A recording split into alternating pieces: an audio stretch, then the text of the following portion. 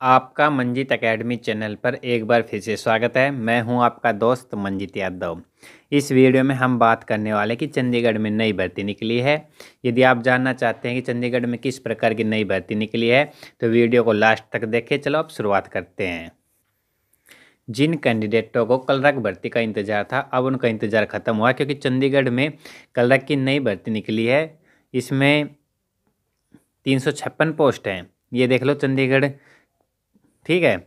और पे स्केल की बात की जाए, दस हज़ार तीन सौ से लेकर चौंतीस हज़ार आठ सौ रुपये तक पे स्केल रहेगा और ग्रेड रहेगा बत्तीस सौ रुपये और कलरक की तीन सौ छप्पन पोस्ट हैं, जिसमें जनरल की एक सौ बासठ, एस की अड़सठ, ओ बी सी की बानवे, ई डब्ल्यू एस की चौंतीस पोस्ट हैं, ठीक है?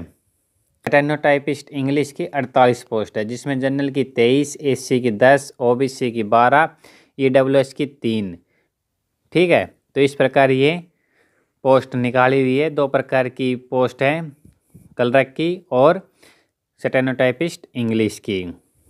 और फ़ीस की बात की जाए, जनरल कैटेगरी, ओबीसी कैटेगरी और एक्स सर्विसमैन और ईडब्ल्यूएस के लिए हज़ार रुपये डब्ल्यू डी और एक्स सर्विसमैन पाँच सौ रुपये फ़ीस रहेगी, ठीक है। और ये देख लो, तीन तीन साल का बॉन्ड भरवाया जाएगा, इसके बाद आपको हटाया भी जा सकता है, ठीक है?